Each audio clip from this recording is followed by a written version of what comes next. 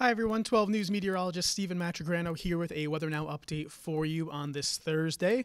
Some big news. We finally hit 90 degrees in Providence. This is the first official day of 90 degrees, and that, of course, has been 384 days since the last one, which was August 19th of 2022. Here's a look at the latest 90 degree days. So this year, today's date, September 7th, ranks the second latest day that we have seen a 90 degree temperature for the first time in that year. Uh, some years didn't see any at all. That was 1932, 1951, and 1962. So, again, first time this year hitting 90 degrees. Heat advisory in effect for today and for Friday for feels like temperatures anywhere from about 95 to 99 degrees, especially across the in- inland sections, but even the beaches are feeling very toasty out there. So, uh, no matter where you are, don't let your guard down. Those temperatures are very warm to even hot. Providence again 90 degrees, Newport 87, Westerly 87, New Bedford 90 degrees as well. And here's the feels like temperatures when you factor in the humidity. And uh, you can see again, it feels like 95 in Providence, 98 is what it feels like in Taunton, and 97 in New Bedford. Even Newport and Westerly feels like 93. So you get the idea.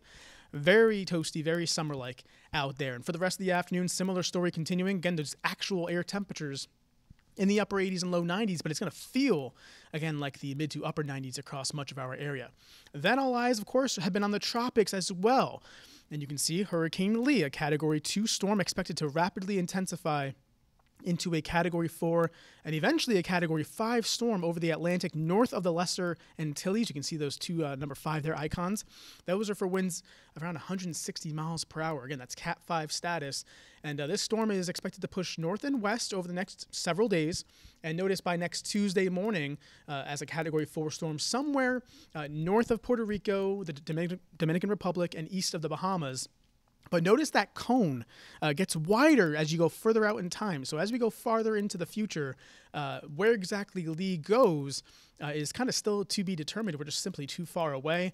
Uh, these are what we call the spaghetti plots or the, the model runs of very, various different models. And you know these update all the time so they are always kind of changing and you know this particular set of models uh, take the storm to a north turn but the question that remains is how f- far west does this system go uh, before it makes that north turn? And that's the big question that you know we're going to be watching closely as we go forward in time.